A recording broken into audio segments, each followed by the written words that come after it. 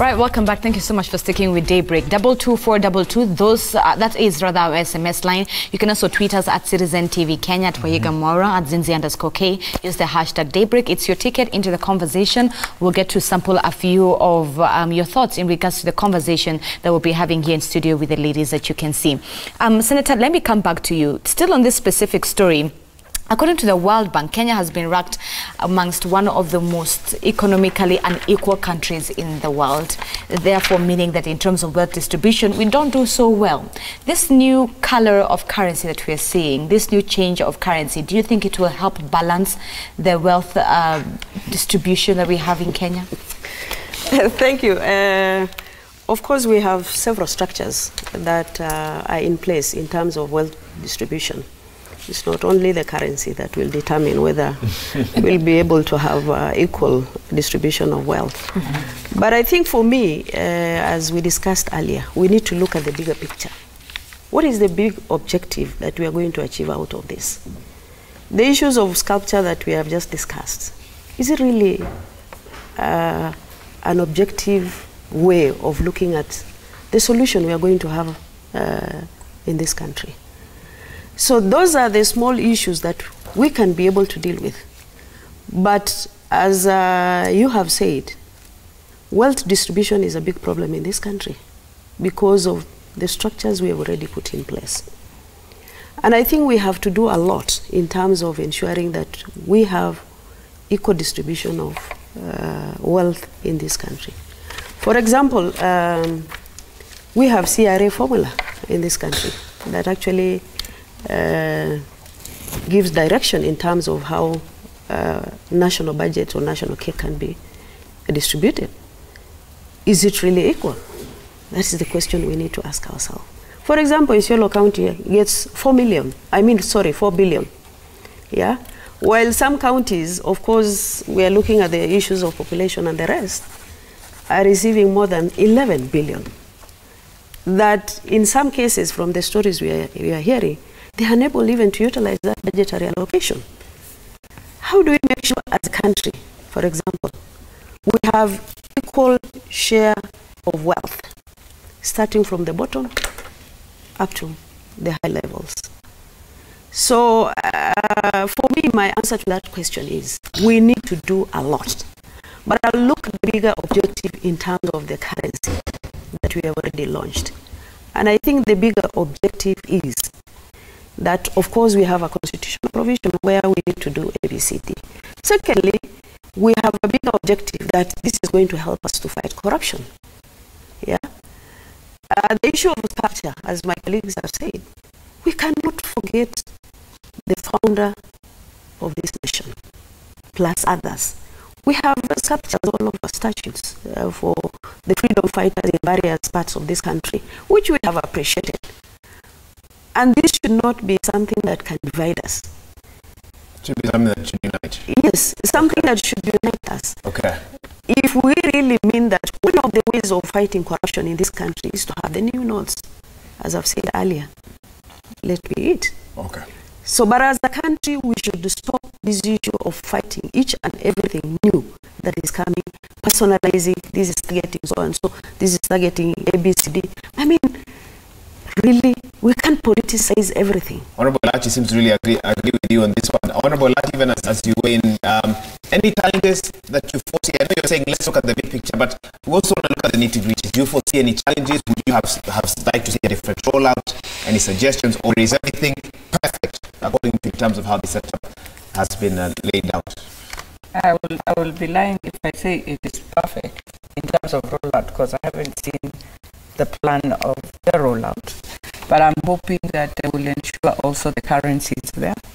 Um, I'm hoping that um, I know my senator, my majority leader, deputy leader said uh, one thing that um, if it is indeed going to bring out money, and I know also Honorable Gladys talked about it, that we want to see, but we also want to know how much has come out and what are we doing with the money. And I would pray that the government will use this money to start paying directly the debt that we owe.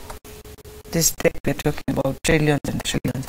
I am hoping every money that we get from corruption, that we know this is illegal money, let it go and pay debt because it was supposed to go into development and that development to bring out a revenue that goes back and pays debt. So I'm hoping we can know the figures as we move on. I'm not saying it has, as we move on, because I know we've recovered quite, uh, uh, we've recovered money. They now need to come. This will give Kenyans uh, motivation to even support more. Because they'll say, if indeed this is what we are receiving from money that has been illegally taken from us, and we are here to support because we know so far you've received 100 billion, 200 billion, but directly don't tell us it's coming to development because already you have planned for development. Take it to pay debts and, and, and show Kenyans we were in debt of this trillion, we've just reduced, we are here. We are here. People will really support Yeah, it. Speaking of corruption, so I'll ask you this. Is it true that your clerk was jailed for 4 million? Well, yes, my clerk in Dubai, um, they went for a benchmarking, but this is something that happened in 2016, and I know Foreign Affairs has really tried to assist to ensure uh, that uh, he's not taken in jail, but his particulars are being held by the authorities in Dubai until they pay the money. And these are some of the things we're saying. Now, when you look at some of these things of benchmarking, it brings a lot of, I mean, you can imagine we are in gold madness. So you imagine if he's in jail, the way they will treat him so badly. So for me, I will thank Foreign Affairs for managing the process, but I'm hoping they will send the money. And don't forget, Dubai is in a holiday of 10 days. So he has to stay maybe for 10 days until they finalize, and then uh, they pay the money, and then they give him back his passport and everything for him to come back to Kenya. But it is wrong. I want to you cannot go for benchmarking when you don't have money. Why are you going? And in the first place, what training Who- is who this? gave the approvals? Uh, well, that, that, well, Nairobi is the most uh, unique county we have in, in Kenya. So, you know, you can do anything. And when you talk about it, you'll be hit by bloggers like nonsense. So sometimes I just say, you know what? We talked about these things. People used to wonder, what is Elachi saying? So, but they have to manage it in a way that it is wrong. And they have already now uh, spoiled their name. Let them stop now going to Dubai because it's, it's no longer good for them. Okay. It's no longer good okay, using them. a lot of days. You're not trying not to name individuals. Well, I don't want because you know it's a story that was uh, kept kept. But I know Foreign Affairs Ah, talked to me and they told me, yeah, we will manage and uh, he will not be in jail. But and and therefore, even for the family, it is it is well. Good. We want to wrap up the discussion on new currency. Brief thoughts from uh, Honorable Shollei and Honorable Wanga before we talk about matters Nairobi, what's been happening in Nairobi, but also gender equality, Yep. which is something we want to get into shortly. But Honorable uh, Shollei, go ahead. Yeah, one, I'd, one thing I'd like to say to Kenyans, first of all, when we had the first currency that we've been using up to date, nobody asked us, and we were using it. When they put Moi's picture on it, no one asked us. When they put uh, Kibaki's uh, picture, uh, I mean, the on the coins, 40 shilling coin. Nobody asked us. So I think we should be grateful that we had an opportunity during the constitution making process to be able to have an input on what we want to have in our currency. So public participation has been done.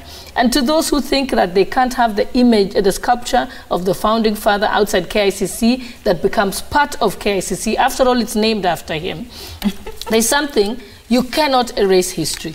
It's like I cannot. No one. If today you had an, you were shown a picture of uh, South Africa at the at the uh, stadium square with you know Nelson Mandela with his fist up, everyone will say that's South Africa.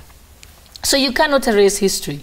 And when we put the symbol of the founding father, he, he, it's not, we're not talking about him as a person. He symbolizes all those men and women who fought for our freedom. And I'm happy that we have continued as a country to continue to name them. I was very happy. I was in Kisumu recently. And I was able to see that there are roads named after Achieng Oneko and all the other freedom fighters. And I think that is something we must continue to do. I have, I have uh, b- b- tabled a bill in Parliament, the Kenya Reparations Bill. And one of the items there is that we should build museums to be able to recognize those who have. Um, who have suffered historical injustices, but also to recognize those who have fought and struggled for our country. So I think it's, I, I- I think fighting it, and, and what has happened, and I, I want to warn the judiciary, they should not become the boxing ring for anything, people who want to settle scores. Okay. And, and because that's very important, because they're soon going to lose respect and people will begin to not take the judiciary seriously. And once that happens, they will lose authority. So it's very important the judiciary is careful that mm-hmm. not every issue a decision that is made by any institution that is independent. So let in our independent institutions make the decision. Okay. The central bank has been mandated to do that. The constitution has mandated to mm-hmm. them to do it. Let us leave it to them. Let us leave it and to- I need- lastly, I need- on this, Okay, is that if mm-hmm. if we've been asked, because no one is saying they're taking away your money. They've simply said, mm-hmm. take the money to the bank. We shall exchange it for you and give you the new currency. Just the way when I have a torn note, I normally take it to the bank and the bank gives it back to me. If your money is legitimate and you, and you are paying taxes, mm-hmm. surely what is the objection about taking it? And remember, no one is saying you can't take 100 million or 200 million Yes. shillings to the bank. All you, they've actually You given an need to prove amnesty. where you got it from. No, you just oh. need to explain so that we make sure that you've not been doing uh, illegal trade and uh, yes, ex- exactly. So that is just to make sure, and that is not it's international anti anti money laundering uh, laws. Of Oh. course, I would have loved it if I was doing it. If I thought, and this I can know for a fact, And if I'll I thought that last point. Yes. Yes. if, if I thought that people had money out in their houses and it's not legitimate money, maybe we can earn some income from it, bring it back, we'll exchange it for you, but you pay 50% tax. Maybe Okay, we'll earn some income as a country. I